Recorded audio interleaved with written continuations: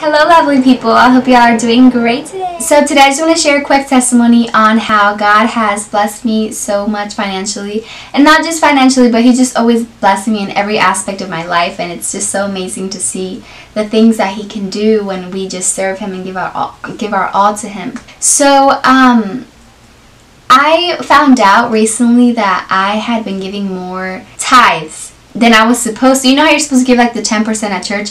I was giving more without even realizing it. And you're probably wondering like how on earth would you give more without realizing it? Well, it was happening. Um, it's another story of how how I was doing it without realizing it. But anyway, I was. And I didn't like trip out about it. I didn't say like, "Oh my gosh, pastor, I'm to need my money back, girl." Imagine if I were to have thought something like that. That would have been crazy. I could have, though. I could have been the kind of person to say, oh, I'm going to need it back.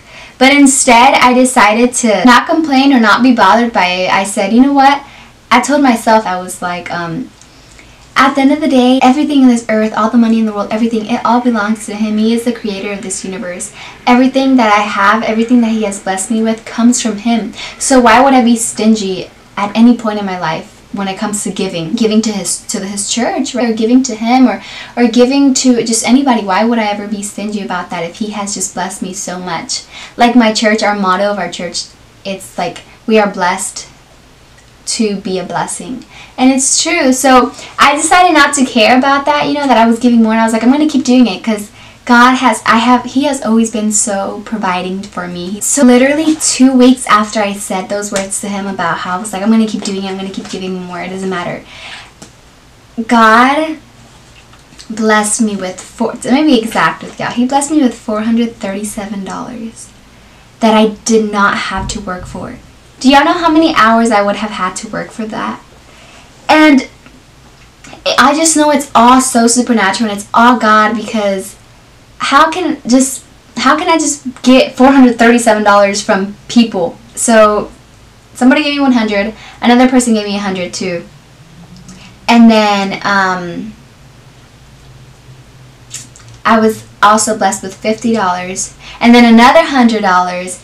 Actually, it was more than $437 that I was blessed with in a matter of two weeks. Two weeks! And then uh, something happened, something really cool happened. So this is my new Bible. I um, I've always wanted a bilingual Bible because I, para los que no saben, for those of you who don't know, hablo inglés y español. I speak both English and Spanish, and I always wanted to not only memorize the verses in Spanish, but also in English for whenever I was speaking to people who didn't speak Spanish about the word. I wanted to be able to know how to say my verses and everything in English. So whenever I go to get it, I noticed that this one was a little more expensive than the normal ones, and I had spent a lot of Christmas money on people, so I was kind of like, my budget was a little tight, you know. and I also wanted to get the message version by, but I was like, uh, I don't have, I, I gotta save money because school is about to come up, and I have, and I was kind of like hesitant a little. But then I told myself, anything that I invest in the kingdom of the heavens, it's worth so much more than any price, right? So when I go to pay for my Bible, the guy at the at the register, I tell him, like, I'm so excited because I've always wanted a bilingual Bible and so he's like, you know what? I'm to give you 40% off of this Bible. I just feel like I, I'm to help you. And like, it's crazy because I wasn't expecting him to do that. So I ended up paying like way less than what it was. And aside from that, I was able to have my name engraved in it. How special and meaningful is that? Like God will literally use people to bless you whenever you are faithful to him to giving to his kingdom, giving, you know, it's just God is so good. The Bible says in Malachi 3:10, "Bring the whole tithe into the storehouse, that there may be food in my house. Test me in this," says the Lord Almighty, "and see if I will not throw open the floodgates of heaven and pour out so much blessing that there will be no room enough to store it." God is telling us, like, test me in this. But do it out of your heart because it comes from you to give. And not necessarily just 10% to your church, but in general, giving to others, giving to the poor person that you see on the street, giving to those in need. Just test Him and see that He's going to bless you.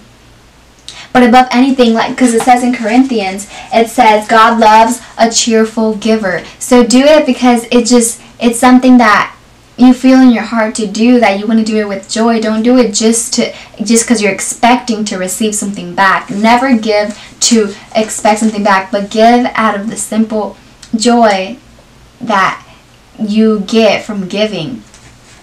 And so that's another testimony to the Bible one. It was so sweet. Like, it was awesome. I was so happy because my name is engraved on this. Oopsies. Anyway, and so God blessed me through those people and the person that gave me $50. So she came up to me at church on a Sunday. I was going to start service, and right before I started service, she came up to me and she was like, Here, I feel in my heart to give you these 50 bucks. And I'm like, No, no, no, no, no, I'm not going to take that. And she was like, No, you have to take it. And I'm like, No, I don't want to take your money. And she was like, I'm just obeying God, so please take it. And she was like, God placed this in my heart to do it, so just please receive it. And so I took the money. And so she texts me the next day and she's like, So I was looking through one of my old Bibles and I found money in it. And she was like, I don't, I told, she was like, I had even forgotten I had this Bible. I just came across it and it was a very old Bible. I don't remember the last time that I opened it. And she was like, and today I opened the Bible and I, I see an envelope filled with money I had no idea was there. How awesome. God blessed her for blessing me. And God blessed me for blessing his house, the house of God. In other words, the church that I go to. And not only that, but just, it's crazy how God works. And so today I just want to invite you to, the Bible says, test him and see that he will provide for you. He is the God that provides for, her, for his children. We will never be sure of anything because, like the Bible says, if He provides for the birds that are in the sky, He provides food for them, why would He not provide for? If there's anything that you are asking God for, if you're struggling financially, just pray and, and just give. Even if it hurts your wallet, even if you're like, oh, but I need, I don't have enough, or do it and take a step of faith and believe that God is going to multiply whatever it is that you give. Because that's surely what God has done in my life. So I encourage you to trust God, to start giving to your church more, not only to your church, but to those who are in need. The Bible says, um, blessed are those who help the poor. And just do it and watch how God is going to bless you. While you're at church on Sunday, just when it comes time to give your offering, your tithes, just do it without even thinking like, oh man, this like, oh, I needed this money for something else. No, do it because you're being a blessing to the work that God has started in your, church. You're being a blessing to the place where you are growing spiritually. And just do it knowing that God sees your heart and he sees your intentions and he knows every he knows your your needs and your desires and just trust that he will provide for you all right. Well, that's all that I have for today. God bless you all. Thanks for watching, and I hope you all have a blessed day. And to love you all so much.